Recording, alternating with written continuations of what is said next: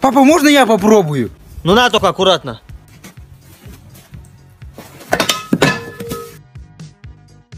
Сейчас, пап, я еще раз попробую. Ага, сейчас, все, иди, потом. Папа, можно мне попробовать? Нет, мне сейчас не до тебя, мне надо быстро все сделать. Ты сейчас будешь полдня крутить. О, батя, ножовкой можно? Чтоб ты здесь свои пальцы мне поставлял? Не надо, потом.